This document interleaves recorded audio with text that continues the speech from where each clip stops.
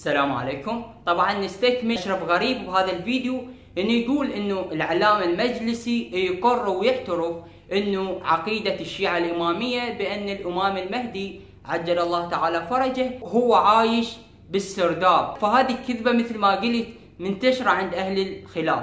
طبعا هو أشرف غريب نقل من بحار الأنوار. وهذا الوضع يعرف أو ما يعرف إنه العلامه المجلسي نقل عدة أخبار من كتب أخرى بكتابة كتاب بحار الأنوار. خلينا نسمع شنو قال أشرف غريب بهذا الخصوص وبعدها نرجع لرد الشيخ أحمد الإمامي. خليكم ويا الفيديو. ادي كتاب بحار الأنوار. أخواننا الاحبه كما نرى على الشاشة في الجزء 51 صفحة 101 للمجلس. تمام؟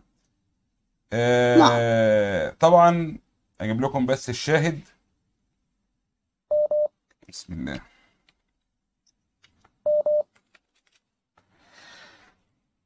هنا يا اخواننا الاحبة بيقول لك هنا بيقول لك قال صلى الله عليه وآله الحلال من أحل الله على لسانه إلى يوم القيامة الحرام ما حرم الله على لسانه إلى يوم القيامة فلا بد من أن يكون له عونا وناصرا ومصدقا.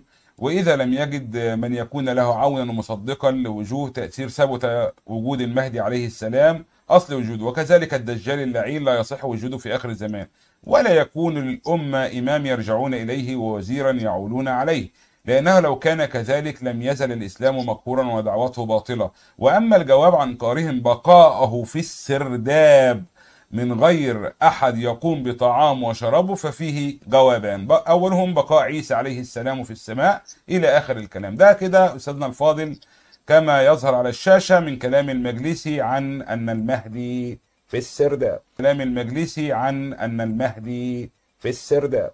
طبعا مثل ما شفتوا ينقل من بحار الأنوار أنه عقيدة الشيعة فعلا أنه الإمام المهدي عجل الله تعالى فرجه هو عايش بالسرداب. فهسه خلينا نسمع رد الشيخ الإمامي اللي كسر ظهر أشرف غريب.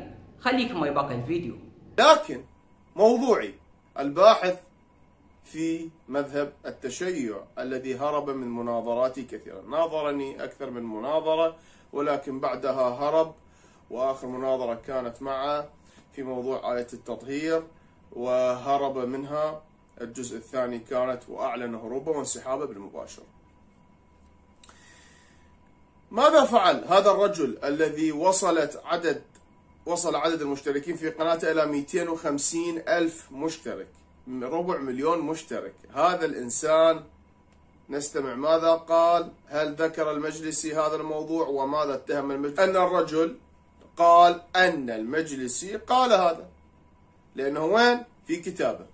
أولا هذا الجاهل ما رجع للكتاب أصلا وعرف أن هذا مو قول المجلسي بل هذا قول أحد العلماء الشافعية. يقول لي معقول أقول لك نعم.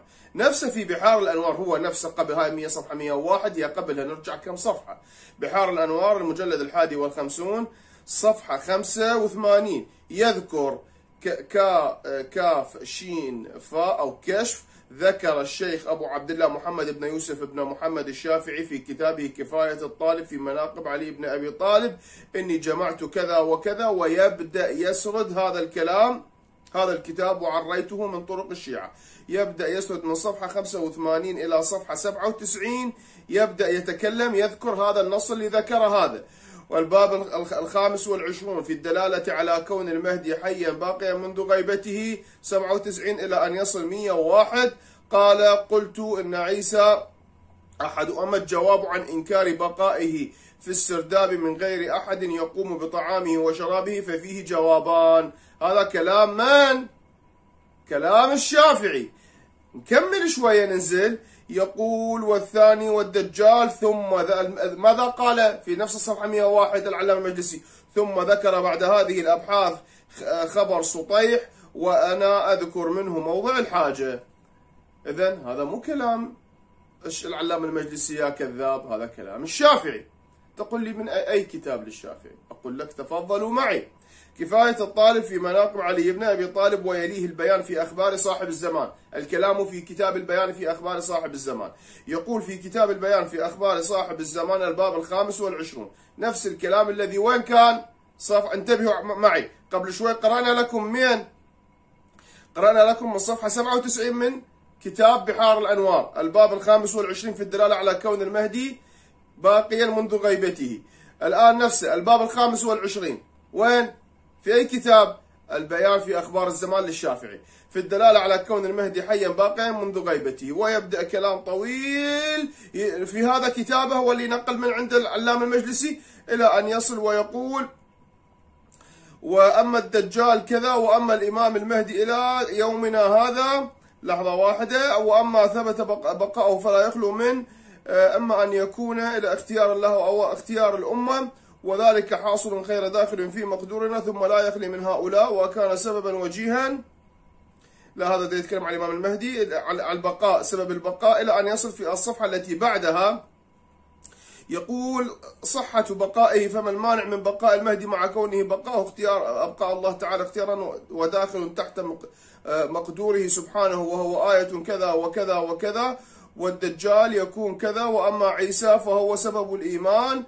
وخاتم الأنبياء إلى أن يصل ويقول وبقاء الاثنين وبقاء الاثنين يصح بقاءهما ولو صح ذلك نصب لو وجد وذلك مستحيل في العقول وإنما, وإنما قلنا إن بقاء المهدي أصل لبقاء الاثنين وذلك لو صح نفس الكلام اللي منقول هناك في كتاب ها في بحار الأنوار إلى أن يصل في صفحة 531 كنا نقرأ من 530 عفوا 531 ويقول التالي وأما الجواب عن إنكارهم بقاؤه في سرداب من غير أحد يقوم بطعامه وشرابه فمنه جواب.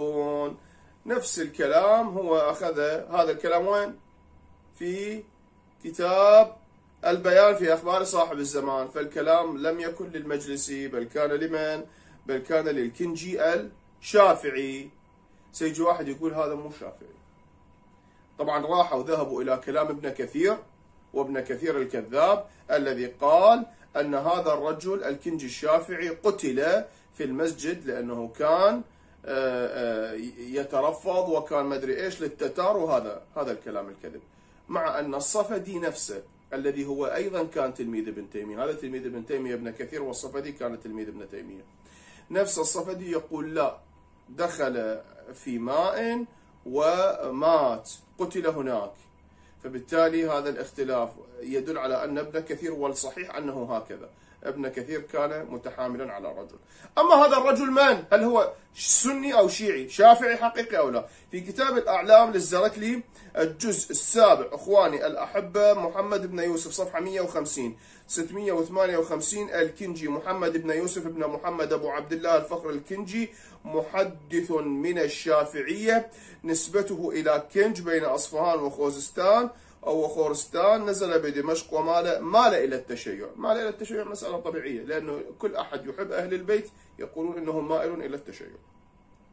وصنف كذا والبيان كذا وكذا. إذا محدث من الشافعية. الرجل من الشافعية وليس شيعيا. إذا يا أشرف غريب يا باحث في دين الشيعة يا كذاب تحرى النقل مرة ثانية ولا تضحك على هؤلاء الهمج المتابعيك من مثل ما شفتوا رد الشيخ أحمد الإمامي على أشرف غريب. مثل ما معروف أن العلامة المجلسي ينقل كلام علماء مخالفين وكلام علماء الشيعة بهذا الكتاب كتاب بحار الأنوار. فمو كل الكلام اللي موجود هو كلام الشيخ المجلسي رضوان الله تعالى عليه. طبعا هذا الفيديو إذا يثبت شيء فهو يثبت جهل أشرف غريب بكتب الشيعة انتظرونا بردود أخرى ردود علمية من قبل مشايخ رافضية تكسر ظهور الوهابية. وبس وهذا كان فيديو اليوم. في أمان الله.